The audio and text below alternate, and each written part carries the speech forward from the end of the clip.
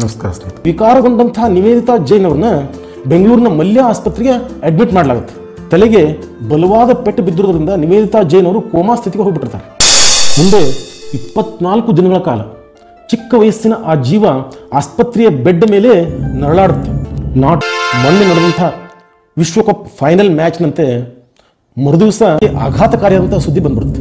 ನಿಂತ ನೆಲನೇ ಕುಸಿಯುವಂಥ ಕರ್ಣ ಕಠೋರವಾದಂತಹ ಸುದ್ದಿ ಒಂದು ವೈದ್ಯರಿಂದ ಹೊರಗೆ ಬಿದ್ದುಬಿಡುತ್ತೆ ಆ ಸುದ್ದಿ ಅಂದರೆ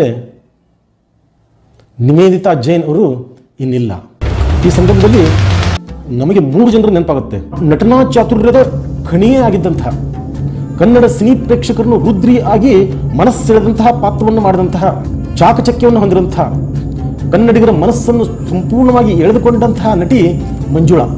ಅವ್ರಿಗೂ ಕೂಡ ಚಿಕ್ಕ ವಯಸ್ಸಿನಲ್ಲಿ ಘನಘೋರವಾದಂತಹ ಸಾವು ನಡೆದು ಹೋಗುತ್ತೆ. ಆ ಸಾವು ಕೂಡ ಇದುವರೆಗೂ ನಿಗೂಢವಾಗೇ ಇದೆ. ನಮಸ್ಕಾರ